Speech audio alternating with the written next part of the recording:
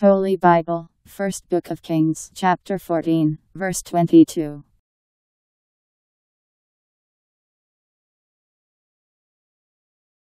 And Judah did evil in the eyes of the Lord, and made him more angry than their fathers had done by their sins.